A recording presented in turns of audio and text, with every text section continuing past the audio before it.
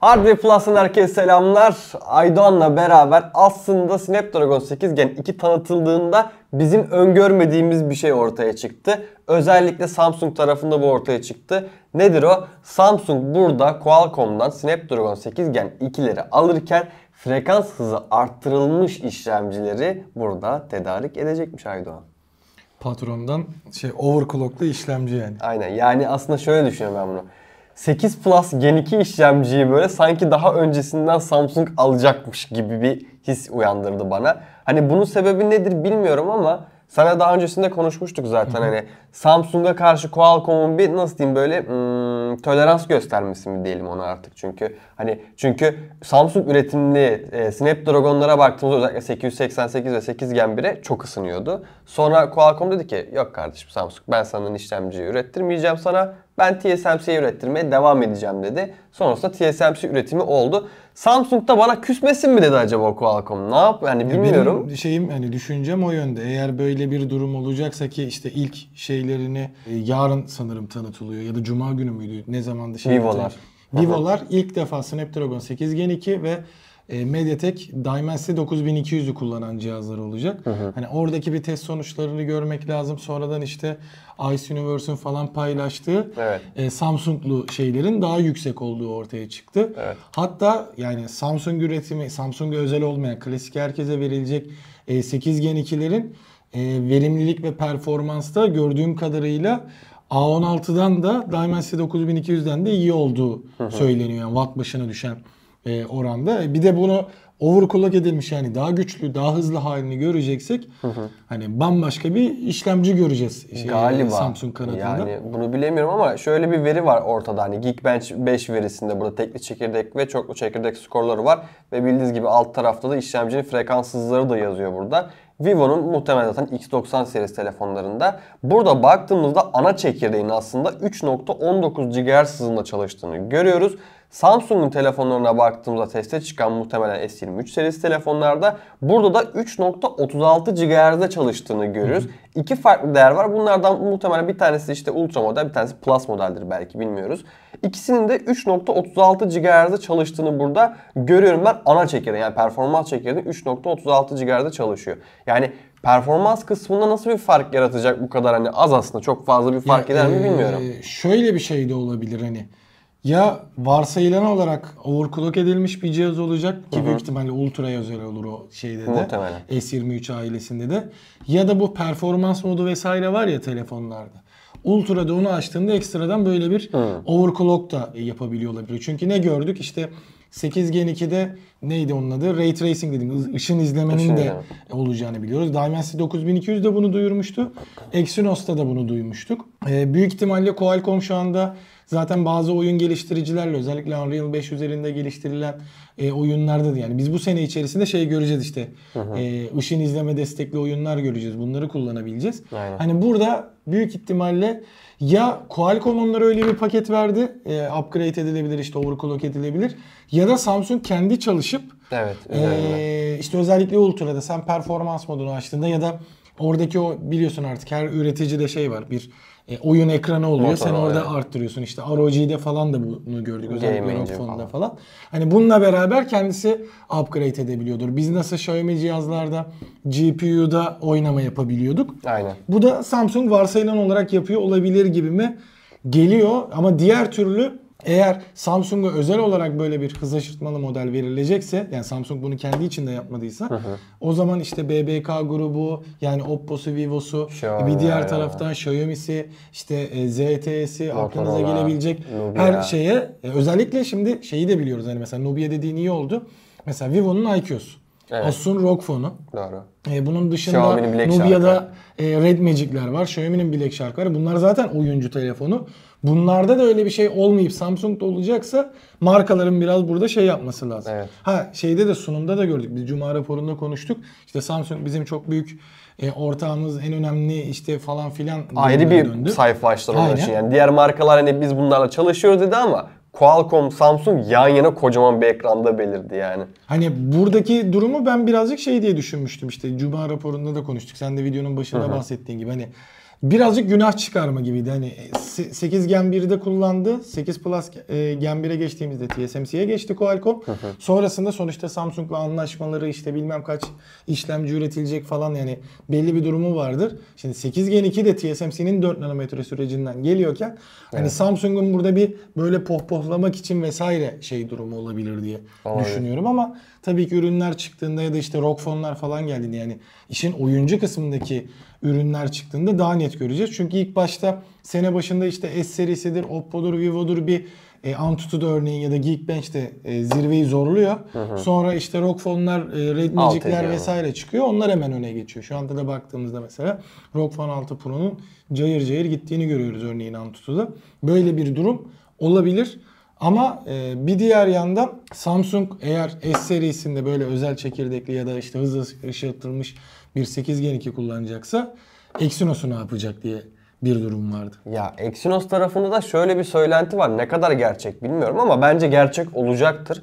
Çünkü Exynos'u istediği seviyeye çekemedi Samsung. Hiçbir zaman bunu yapamadı. Yani amiral gemisinde de orta seviye telefonlarda yapamadı ki hani yapamamasının kanıtını nerede gördük biz? Adamlar A52 modelini çıkardı Snapdragon 720 ile. Sonra A52S dediler biz 778G koyduk dediler. Herkes çatır çatır aldı gerçekten kullandığı çok verimli performanslı işlemci. Sonra ne oldu? A3 serisine yani AX3 diyeyim ona burada yani 53, 53 73, 33 modellerine geldiğimizde Samsung A73 yani en üst versiyon modeline burada 778G'yi koydu. Diğer modelleri Exynos 1280'di yanlış hatırlamıyorsam o modelleri koydu. İnsanlar A53 modelini al almak yerine dedi ki ya ben biraz daha para vereyim gideyim işte A73 alayım ki hani Snapdragon'un işlemci kullanayım. Ya, ya da, A52'si tekrar alayım bir de hani 53 almak yerine. Farklı modellere yöneldiler. Veya farklı markalara. modeller markalara yöneldiler bu şekilde. Yani Samsung yine Exynos tarafında bence kanayan yarasını devam ediyor. Bu yüzden de şöyle bir şey yapacak. Ben bunu düşünüyorum en azından. Tamam benim amiral gemisi işlemcim de şu anda 2200 en azından hani S serisindeki. Artık 2300 oluyor. 2300 olacak. Ben diyor ki Snapdragon serisinde Snapdragon işlemcilerin tamamını S serisine koyuyorum. Bütün dünyada yani globalde bütün her yerde normalde ayrım yapıyordu. İşte bir geçen sene S22'ler bize de şey olarak geldi. Snapdragon geldi. Normalde hep Exynos gelirdi. Snapdragon döndü. Şimdi komple direkt dünyada Snapdragon'a döndükten sonra yeni çıkaracakları 2300 işlemcisini direkt A serisine monte edecekler. Söylentiler de var bunun hakkında. Yeni e, 70 A54, 74 işte e, 34 modelleri vesaire. Bunların hepsinde Exynos 2300 işlemcisi olacak ve amiral performansı gösterecek. Nasıl olsa biliyoruz Exynos 2200'ü, 2100'ü vesaire performansını. E, bu, bu sefer o zaman 1000 serisi ne olacak? O da A0'lara mı gelecek? Belki yani öyle bir şey olacak A0 serisinde de onları kullanacağını Ama düşünüyorum. E, şimdi burada ortaya çıkan şey şu mu peki? Yani burada mesela kafa karışıklığı yaratabilecek iki durum var. Bir tamam e, artık 8 genle gidecek diyelim S serisi. Büyük ihtimalle işte Fold'lar, Flip'ler geldiğinde orada Plus'ı göreceğiz. Okey geçen sene olduğu gibi. 2300 serisiyle Samsung ben amiral gemi işlemcimi artık A serisinde mi kullanıyorum diyor. Hı hı. Yoksa ben amiral gemi işlemci yapamıyorum. Sayıyı 2'de tutup e, şeyi yaparak hani biraz daha böyle algı yönetimi yaparak işte 2300 adındaki işlemciyi ben nasıl olsa e, düzgün bir amiral gemisi işlemcisi üretene hı hı. kadar A serisinde mi konumlandıracağım? Yani 2300, 2200'den iyi performans gösterip A serisine gelirse tamam o okay, zaman ben de ona okey. E, o zaman kendi rakiplerine karşı büyük avantaj olur. Yani Oppo'nun A serisine Tabii de, canım, Poco'lara da bilmem yani. nerede e, avantaj sağlar. Ama 2300 serisi 1280'in güncellenmiş hali olacaksa da Aha. o zaman yani ya da Snapdragon'un 700 serisine 600 serisine denk gelecekse o zaman işler değişir ki Aynen. zaten 1000 serisiyle alakalı tam model kodu aklımda değil. Bu da duyurulmuştu. Hatta işte hı hı. A ve M serisinde kullanılır diye. E, orada da işler değişiyorsa nasıl bir durum olacak? E Snapdragon'lu modeller kullanıyordu. Onları kullanmayacak mı? mı? Ya da işte A73'te 2300 kullanacak. A53'te vesaire yine 1280'in yenisi. işte 1380 diyelim şu an. Onu mu kullanacak? Hani böyle bir belirsizlik var ki amiral gemisinde kullanmayacağını az çok anlıyoruz. Çünkü tam bu dönemler yani en önümüzdeki 1-2 hafta içerisinde biz 2300 lansmanını duymazsak Evet. O zaman zaten 8 Gen 2 garanti gibi bir şey oluyor. Hı hı. Hani 8 Gen 2'yi tam Estes kullanacak ama Exynos'lu modelleri çıkmayacak durumuna da gelebilir. Geçen sene de böyle bir şey vardı. Bu tanıtım ertelendi vesaire bir şeyler Aralığa oldu. kalmıştı gerçi. Aynen evet. ertelenmişti. İnsanlar yine şey dedi. Snapdragon sadece mi komple mi gelecek Snapdragon'la? Exynos'ta gelen versiyonları da oldu. Gördük yani işte yabancı basına falan gittiğinde gördük ama benim düşüncem o yönde S serisi komple Snapdragon, A serisi komple Exynos 2300 yeni nesil işlemci olacağını düşünüyorum. Biraz da böyle sanki Apple'ın SE serisine rakip olarak daha fazla rakip olmak adına yani yüksek performans sunayım diye bunu yapacak ve hani 2200'deki performans neyse amiral gemisinde 2300'de de onu sunup A serisine koyacakmış gibi duruyor. En azından ben bu şekilde Yani keşke şey yapsalar mesela 2200'ü koysalar. Ha, koy, evet, Hani aynen. orada birazcık işte Apple'dan Apple mantığı nasıl iPhone 14'ün baz modeliyle Plus'ında 15 var. Aynen. İşte Pro'larda 16 var. Sen 2300'ü hiç kullanma. Hani çünkü ben şey algısı diye düşünüyorum yani sen S serisine Snapdragon A serisine 2300 koyarsa Qualcomm'un daha iyi işlemci ürettiğini marka olarak resmi bir şekilde kabul ediyor. Senin sıralamanda çünkü öyle. Yani. E böyle olacağına 2200'ü kullan. 2300'ü e, düzgün geliştiremediysen işte hatalar varsa ya da işte 8 Gen 1'deki gibi ısınma sorunlarını çözemediysen vesaire. İşte bir sene adasa bırakacak zaten hiç üretmeyecek durumu vardı. Onu yap. Evet. Seneye yine amiral gemisinde Exynos 2300'ü ya da artık 2400'ü atlarsın belki 2500 dersin 3000 dersin bilmiyorum. Yeni seriyle beraber devam ettir. Hatta belki de Exynos adını değiştir. Hani Ersin abiyle biz bunu çoğu zaman tartışıyorduk. AMD ile beraber olanlar Tabii yine. Exynos adını mı alacak, farklı bir isim mi alacak falan.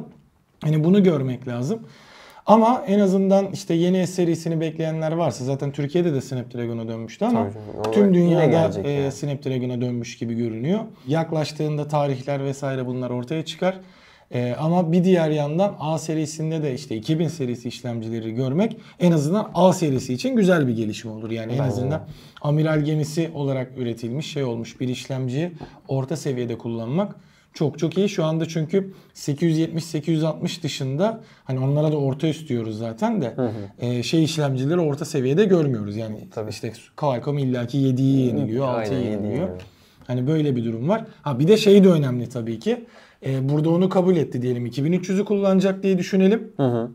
7 Gen 2 ile Ne nasıl bir yapacak? farkı? Fark yani olacak. 7 Gen 2 de 2300'ün üstünde çıkacaksa geçmiş olsun İşte Samsung. belki hani ben şunu düşünüyorum. e, 7 Gen 2'nin üretimi işte bilmem nesi falan fiyatını mesela atıyorum Exynos'un üretiminden daha yukarıda olacağını düşünüyorum. Samsung'da hani bunu düşünerek yine kendi işlemcisini kullanarak fiyatı da biraz daha oynayabilir. Çünkü son 2 senedir Türkiye'deki e, Samsung'un politika fiyat politikasını çok iyi biliyoruz. Hani buna da e, hazırlık olur. Sadece Türkiye olarak değil tabii ki de dünyadaki genele baktığımızda böyle olabileceğini düşünüyorum.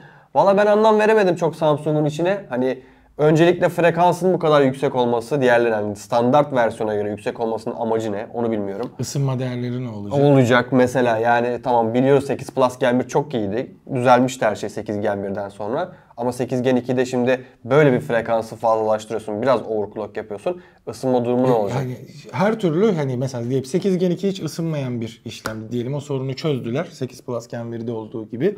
E sen overclock ettiğinde normal ısınmayan değerinden de Fazla ısınmasını evet. sağlıyorsun. Evet, E o aynen. zaman şimdi S22 Ultra'nın 8 Gen 2'si ısınacak da e, Find X6 mı artık kaç olacaksa ya da Vivo yani. X90'daki ısınmayacak mı? E öyle bir durumda o zaman niye S22 Ultra alalım ya da S22 Ultra da bunu soğutabiliyor ve şey oluyorsa o zaman diğerleri niye kullanamıyor? Yani garip vallahi bilmiyorum. Siz de lütfen garip.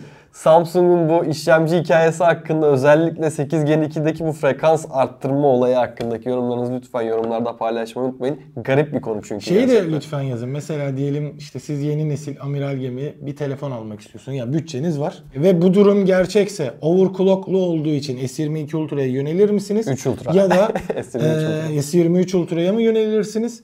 Ya da sizin işte planladığınız işte Oppo'nun yenisi, Vivo'nun yenisi. Gerçi hadi Vivo'nun yenisi şu anda Türkiye'ye gelmiyor ama Oppo'nun da gerçi Veya. Xiaomi İşte 13. bu Xiaomi, Xiaomi 13 Pro mu vesaire mi almayı planlarsınız? Bu sizde yani çok da değil aslında hani 0.3'e falan mı denk Ya, geliyor tam fark? İşte 3.19'da 3.19'da 3.36 aslında. Yani bu fark 18 mesela falan, sizin 0.18 alımınıza da falan. etkiler mi? Ee, özellikle oyun oynarken ya da birçok noktada şey olması. Çünkü normalde de mesela şu an 8 Plus Gen 1 ile 8 Gen 2'yi kıyaslasak çıktıktan sonra zaten büyük bir fark göremeyeceğiz. İşte ışın izleme falan gibi belli başlı şeyler dışında ama şu ekranda ben ışın izleme açık olsa ne olur, kapalı olsa ne olur. aynen. O durum da var. Hani böyle bir durumda bu sizin alımınızı etkiler mi? Onu da lütfen yorumlar bölümünde yazmayı unutmayın diye. Evet o zaman bir sonraki videoda umarım Samsung'un işleri düzelttiği bir videoda görüşmek üzere diyelim. Kendinize iyi bakın. Hoşçakalın. Hoşçakalın.